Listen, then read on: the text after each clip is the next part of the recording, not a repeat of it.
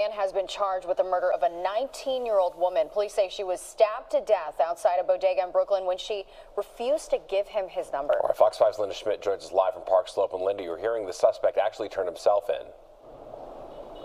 Yeah, he absolutely did that today. He showed up here at the 7A precinct. He turned himself in and he had his lawyer with him at the time. Now, the 19 year old victim and her twin sister, they were together last Sunday, and that is when she was stabbed to death. And police say the reason he did it is because she rejected him.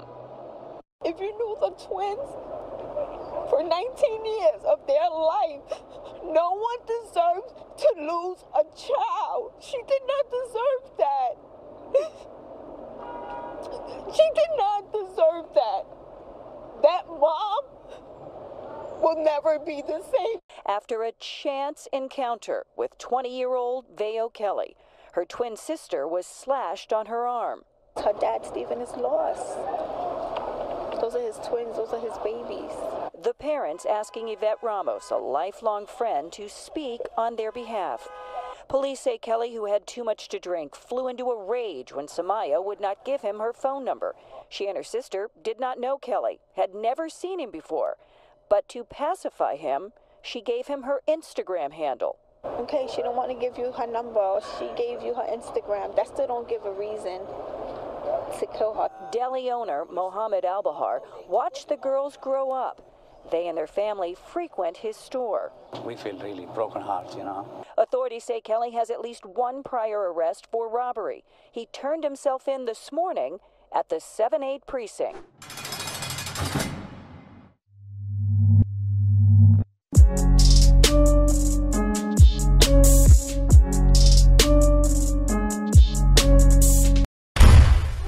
St. Patrick's Day marked the streets of New York on March 17, 2024, as it always does. People were out celebrating the Irish holiday, but on this day, 19 year old Samaya Spain would have never imagined at 19 this would be the last day she would spend in New York City. A different kind of monster had a plan. He just didn't know it yet, and he had been unleashed on the streets of New York. Two young lives would collide, ending both on a cold March morning in Brooklyn on the corner of St. Mark's Place and 4th Avenue. Veo Kelly, a demon on a mission, was drinking late into the night, or at least that's his excuse now, for the horrendous act of violence he would unleash. Reports say he came out of a party hole down the street. He would see the 19 year old girl, her twin sister, and a few others inside the Natural Plus Deli in the Park Slope neighborhood.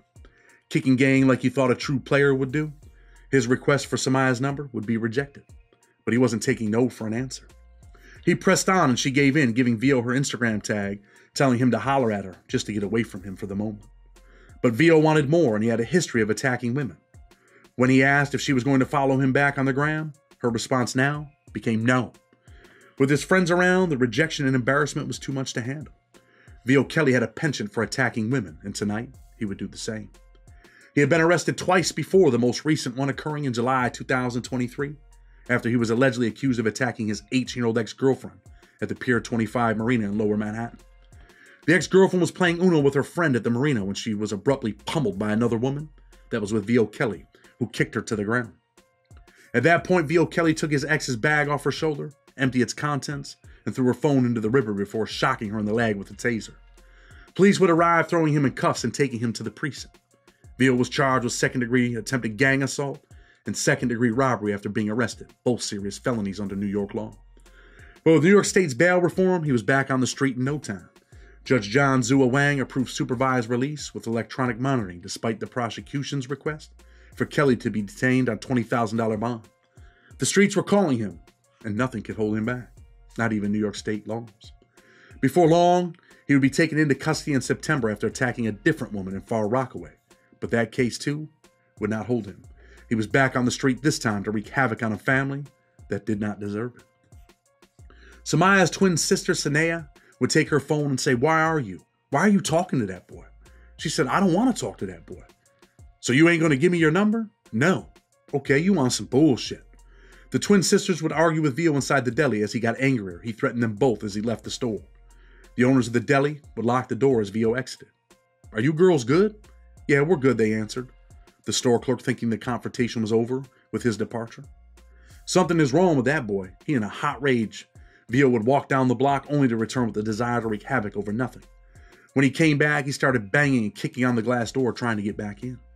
The clerk, afraid the predator outside would unlock the door, answered it with intentions of confronting the man in the rage, but things went bad quick. A fight ensued involving the man, his friend, and the sister's older brother.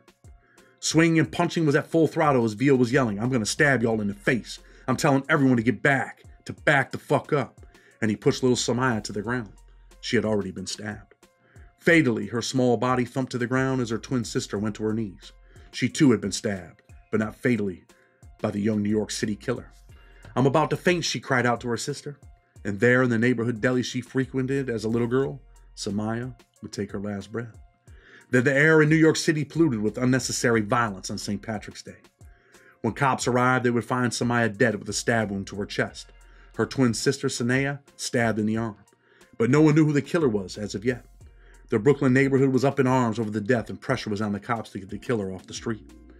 Within five days, 20 year old Vio Kelly would surrender to police Friday morning, a day after his attorney indicated to police the man planned, planned to end a nearly week long manhunt. Friends and loved ones of Samaya Spain gathered outside the 78th precinct to catch a glimpse of Kelly. While the family was happy to see an arrest, a close family friend said it brings little peace to them. No sorry that he's going to say is going to help this family, said Yvette Ramos. You're never the same. She can't build her child back together. You can't take the ashes and build your child back together. You know what it is to wake up in the morning and not be able to call your daughter like you normally do? That is horrible. Samaya's elder relative, Denisha Goodson, was overheard uttering the words, The bastard that killed my sister, as detectives led him from the 78th Precinct station house into an unmarked car that was waiting for them. Others in the crowd screamed at the alleged murderer, Fuck you. A search warrant at Kelly's Hancock Street home yielded clothing believed to be worn during the attack, but the murder weapon has not been found. Police have recovered video surveillance from inside the bodega and have a physical encounter in front of it, but they do not have footage of the stabbing itself. But is Vio Kelly's fate already sealed with his destination being the New York State Department of Corrections for 25 to life? You have got to be the dumbest. Probably going to end up with 25 years to life, right? Or, you know what? They might give you a cop out. New York State, you know, sometimes they let you cop out to 15 to life, usually for, you know, for a body, eight and a third to 25. But I don't know. Maybe in this case, there ain't no cop out. I mean, this is a, this is just outrageous violence, man, for no reason. 19 year old girl, she's going to the store with her with her brother and her sister, maybe a couple friends. Two in the morning, they're gonna grab some snacks. They've been up playing games. Like, yo, we're gonna walk down to the corner store. We should be good. St. Patrick's Day, right? It's the weekend. Everybody's chilling. And this cat approaches her, like, yo, what's up? She's like, yo, I'm good. Nah, what's up? I'm, I'm saying I want your number. And, and she's like, look, I'm good. She's not feeling you. The chick's not feeling you, so you start arguing with the chick, start arguing with her sister, start threatening them. You leave the store. It's over with, man. You left the store, man. You're, you're, out, you're out the way. So what? You got a little embarrassed. You got your feelings a little bit. You keep it moving. Instead, you come back to the bodega, you come back to the deli, and you're like, yo, banging on the window. What was the store clerk thinking? You know, if, if you're out there living a law abiding life and all of that, it's two in the morning. Dude's over there banging on the window after he left. They already started beefing. And you go unlock the door. You have got to be the dumbest too.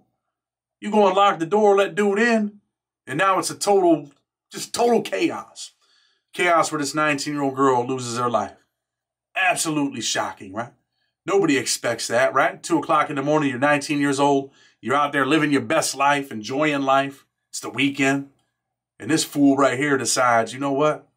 I'm about to take your life as if he was God. I'm about to take your life. But in the meantime, while I'm taking your life, I'm about to take mine. Because now I'm about to be going to prison for pretty much forever. 25 to life. 20 years old, you might be thinking, yeah, but you know what? He'll see the parole board when he's 45. If he goes to trial and he blows, gets 25 to life, which in this case, they might not let this cat cop out. There might not be no cop out for this because this ain't just some like, you know, hey, look, man, you know, dude robbed dude and he shot him and, you know, there's an argument of beef in the street between two dudes that are street dudes. Nah, this is a 19 year old girl, man. You done took this girl's life. For what? What do you think he's doing right now? He's sitting on the island right now scratching his head. Somebody might have jumped on his ass already. I'm like, yo, man, I don't like this dude, man. Yo, he might know a couple people from the neighborhood. There's somebody in Rikers Island that don't like him. There's someone in Rikers Island right now that seen that on the TV and they're going to use that for an excuse today to, you know what? Man, you killed that 19 year old girl, man. I'm about to, about to do something to you today. Just because I'm angry at the world myself. I bet you someone got at this cat on Rikers. I, I believe that. You know, he might be ganged up. New York City, you already know what it is. He might be, I'm not going to say, but he, he might be ganged up. But I know one thing. They're about to load his ass up with some time. And I feel bad for this little girl, man. I feel bad for her family, the family friends on there crying. You know, I got two little twins. Could you imagine what it was, what it's like for the twin sister? You know, Sanaya, she gets stabbed in the arm. Her and her twin sister, they're best friends, been best friends since the day they were born. And now she can't even talk to her sister. She can't see her sister. They're probably together every day. You know, they shared everything together. And now that, that girl don't have her sister no more. Man, she's got to be heartbroken. How do, how do you ever get better? How do you ever bounce back? Man, when you're in the street, man, you got to think. You got to use your head, man. Use your brain. You got a brain for a reason. You'll go out there and take a life, man. And you know what? It's going to cost you your own. This, this is just a story that bothered me, so I did a little clip on it. Blood on the Razor Wire TV until tomorrow. Man, we're out.